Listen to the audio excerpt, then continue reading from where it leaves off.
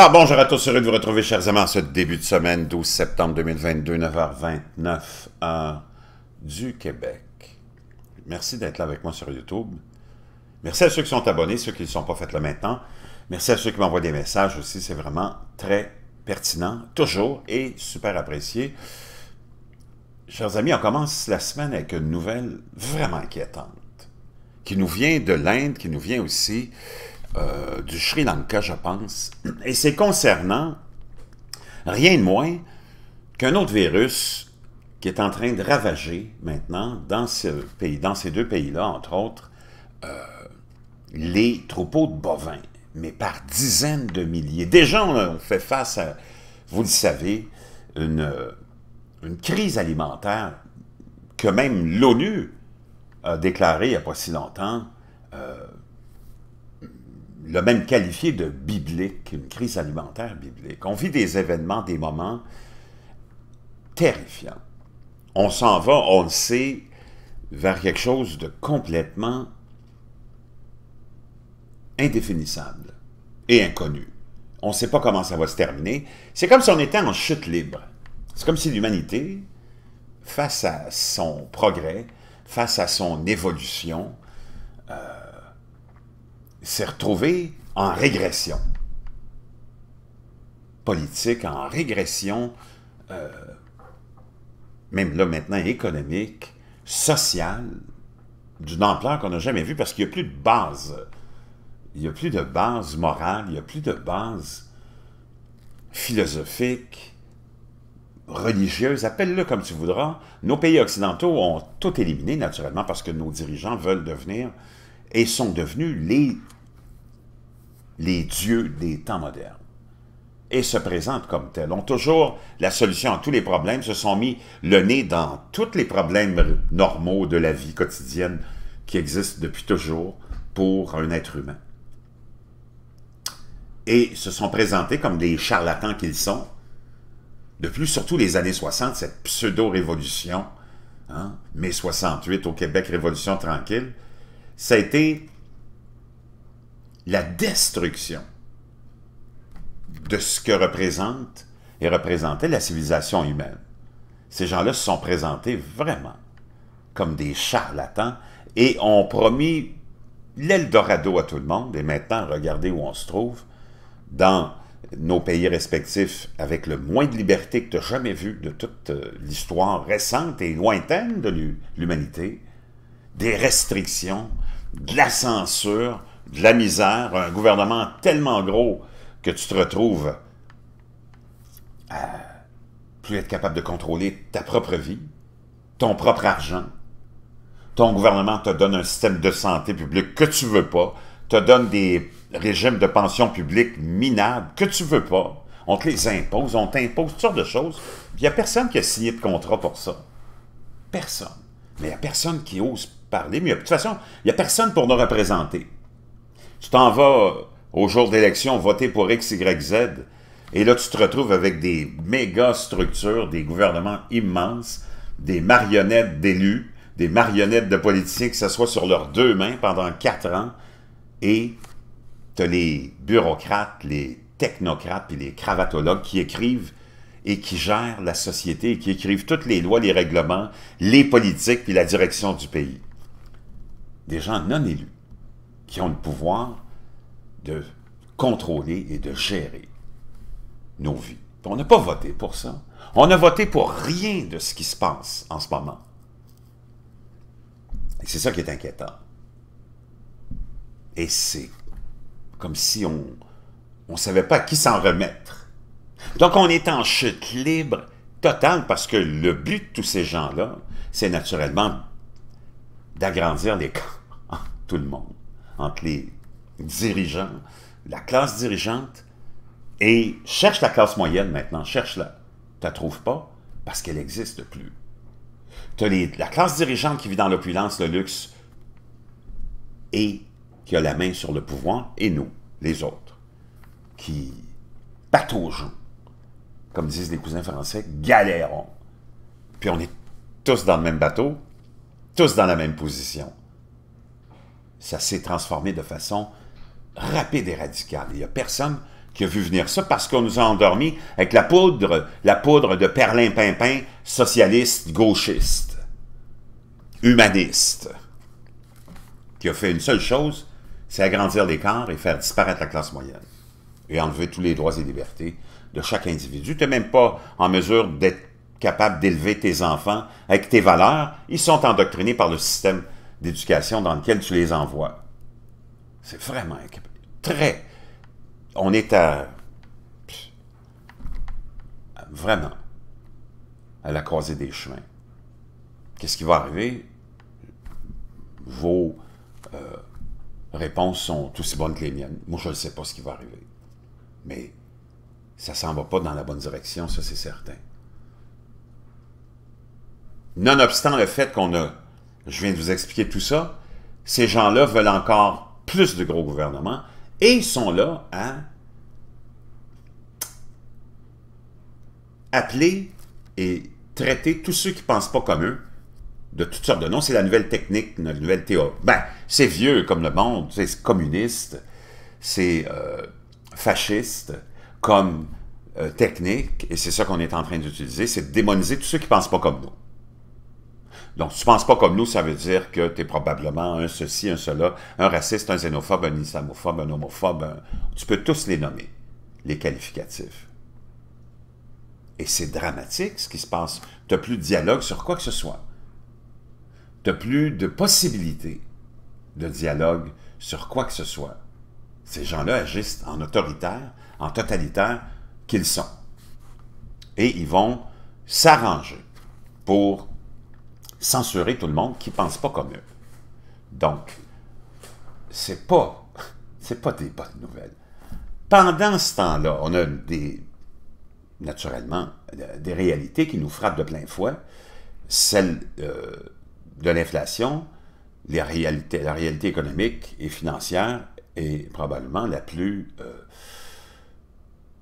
la plus grosse, la plus importante, parce que c'est au jour le jour qu'on le sent, c'est dans nos poches qu'on le sent.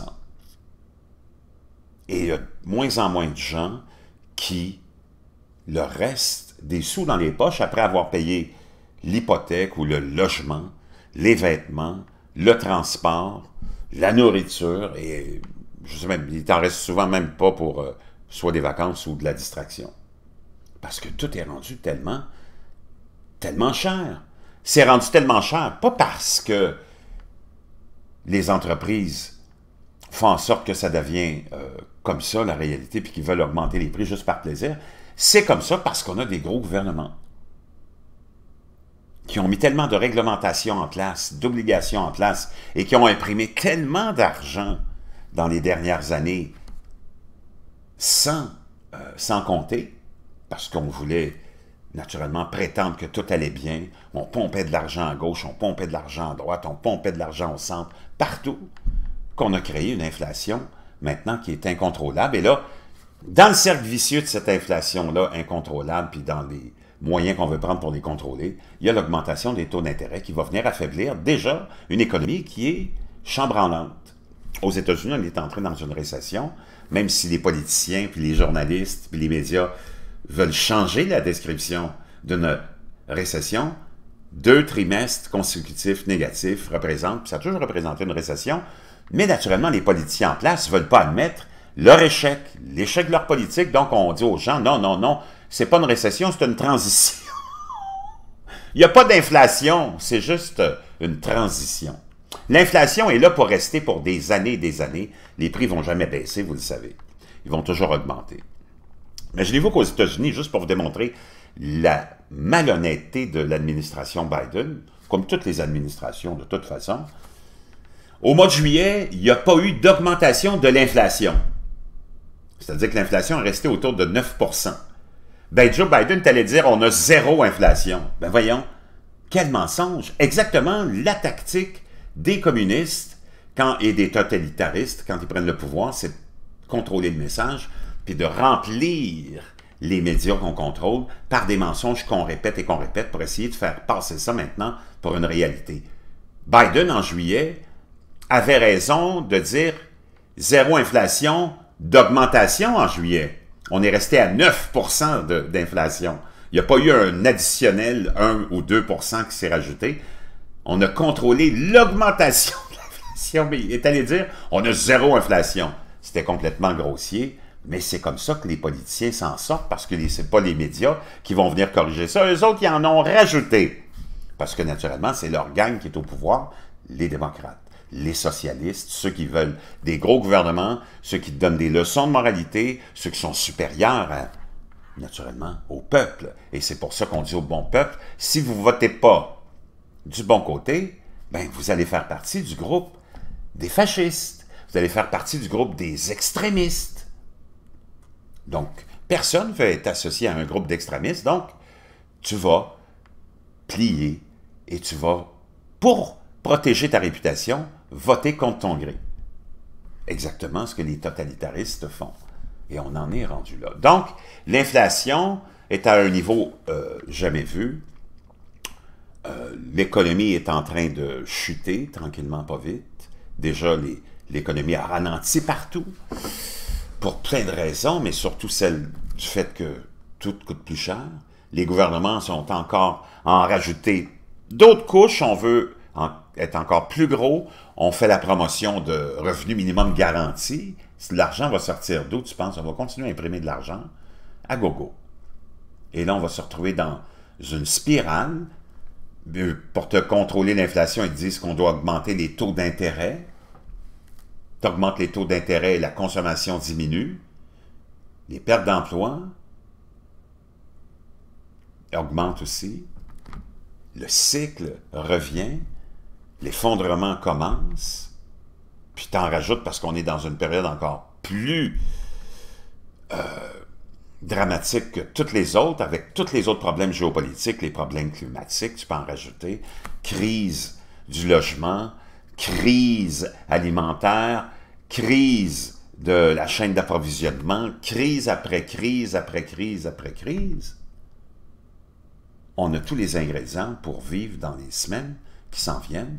Crise énergétique en Europe d'une façon jamais vue, avec toutes les sanctions qu'on a imposées sur la Russie qui sont venues euh, hein, en boomerang, euh, frapper de plein fouet les Européens.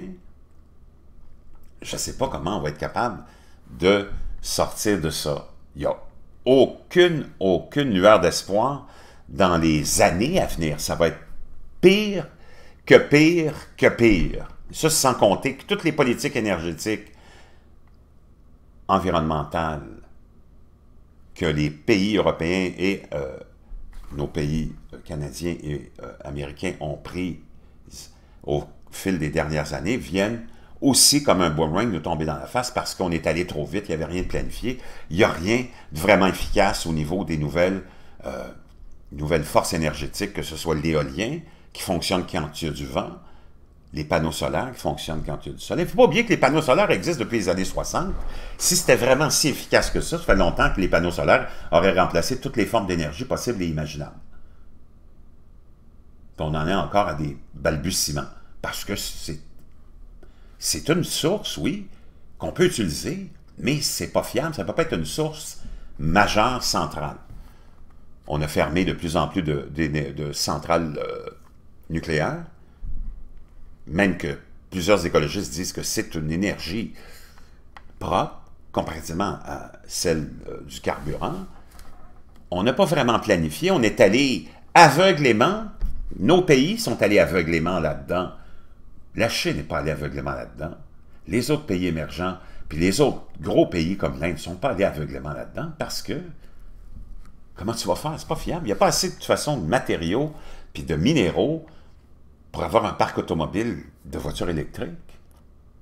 Et si on est incapable de fournir l'énergie en ce moment, nécessaire juste pour la vie quotidienne moderne, on est obligé de fermer les lumières de la tour Eiffel, les gens sont obligés d'arrêter leur climatiseur, leur ventilateur, débrancher leur appareil électroménager, en Californie, on dit aux gens qui ont des voitures électriques en ce moment parce que c'est le mois le plus chaud, puis il y a une demande d'énergie qu'on n'est pas capable de fournir, puis on va aller avec des voitures électriques totalement en 2035, on n'est pas capable de fournir l'électricité juste pour les besoins quotidiens aujourd'hui. Puis on dit aux gens qui ont des voitures électriques, s'il vous plaît, branchez-les pas aux heures de grande affluence. Comment on va faire? C'est tout vraiment un chaos immense qui nous attend. Un chaos, ça va être la frénésie, ça va être l'effondrement total. En Allemagne, on coupe du bois pour se chauffer cet hiver. On retourne au bois. En Pologne, on attend des kilomètres pour mettre la main sur une poignée de charbon pour se chauffer. En France, on est obligé d'arrêter. C'est pas une blague, là. J'ai la nouvelle ici.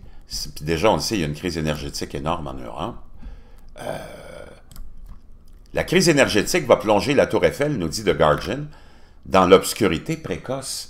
La mairie de Paris devrait proposer de réduire l'éclairage du monument de plus d'une heure par jour. Ça paraît banal, mais c'est un symbole. C'est un symbole. Aux États-Unis, les Américains ont dépensé plus en impôts en 2020 qu'en nourriture, vêtements et soins de santé. Puis on le sait, les impôts, c'est pas aux États-Unis qui sont le plus élevés. Imagine en France, au Canada, au Québec, tu dépenses plus, ici tu dois dépenser probablement cinq fois plus d'argent en taxes puis en impôts que ce que tu gardes pour toi puis ce que tu utilises pour toi pour te nourrir et manger. Wow! Incroyable. Hey, imagine-toi, selon l'étude de 2021, les unités de consommation, des unités de consommation américaines ont dépensé en moyenne 15 495 en nourriture, vêtements et soins de santé combinés, tout en payant en moyenne 16 729 en taxes totales au gouvernement fédéral, étatique et gouvernements locaux, c'est-à-dire municipaux et toutes les autres. Aïe, aïe. Wow! Puis, t'as du monde qui veulent des plus gros gouvernements, puis les gouvernements te disent qu'ils ont besoin d'être encore plus gros. Wow! C'est à rien comprendre. Pendant ce temps-là, la nouvelle dont je voulais vous parler, c'est celle-là.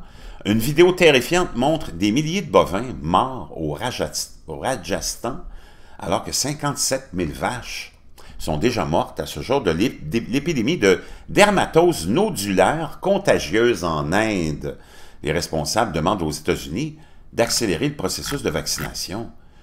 Le, Rajasthan euh, s'est transformé en un cimetière de bétail géant alors que le virus grumuleux fait des ravages. Au total, plus de 57 000 bovins sont déjà morts. Déjà, on a une crise alimentaire, on le sait, il y a la maladie euh, euh, la grippe aviaire qui frappe encore les pays européens, le Canada, les États-Unis, sans compter toutes les autres vermines qui attaquent les champs. Wow! Je ne sais pas comment ça va se terminer, tout ça. Est-ce qu'on a perdu le contrôle? Est-ce que les changements climatiques font ressortir toutes sortes de, maladies qui, étaient dormantes? C'est bien possible. Mais là, on est dans une,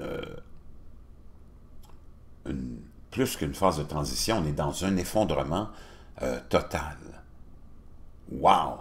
Donc, les principaux symptômes pour les animaux sont la fièvre, des écoulements oculaires et nasaux, une salivation buccale, des cloques molles, comme des nodules sur tout le corps, une réduction de la production de lait et des difficultés à manger qui entraînent parfois la mort de l'animal.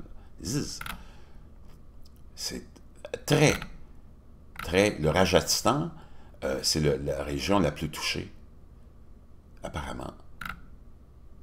Cette maladie s'est récemment propagée en Asie suite à des épidémies au Moyen-Orient et en Europe. La maladie est apparue au Bangladesh en juillet 2019.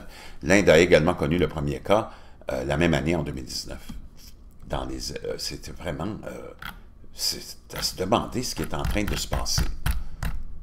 Et sécheresse, inondation d'un côté, sécheresse de l'autre, c'est non-stop, sans arrêt. C'est comme une calamité après une calamité, après une calamité, après une calamité. Ce sans compter les calamités politiques, les calamités que, le, que les gouvernements sont en train de nous faire vivre. Via les réseaux sociaux, on a déclaré une guerre civile, parce que dans la vie de tous les jours, le monde vit en harmonie, mais on a créé cette idée d'une guerre civile d'un danger qui n'existe pas, d'une clique de gens qui sont qu'on qualifie d'extrême droite ou de terroristes intérieurs, c'est-à-dire ces gens supposément qui questionnent les actions de nos gouvernements, les politiques de nos gouvernements, les décisions de nos gouvernements. C'est vraiment malsain. Vraiment malsain. C'est quoi la prochaine étape? C'est probablement du harcèlement, de l'emprisonnement. Est-ce qu'on va faire comme en Chine, ouvrir des camps de réforme pour réformer les gens qui ne pensent pas comme nous? On en est probablement rendu là, chers amis. C'est très inquiétant. Préparez-vous. Moi, je vous l'ai dit. La turbulence, wow, c'est rien comparativement à ce qui s'en vient. Préparez-vous. Préparez-vous même personnellement à peut-être être la prochaine cible et visiter un de ces camps qu'on va ouvrir peut-être. Comme en Chine, camp de réforme. Parce que tu ne penses pas comme l'État veut que tu penses. Très terrifiant, chers amis. Soyez prudents. Puis, euh, je vous retrouve de l'autre côté avec d'autres nouvelles.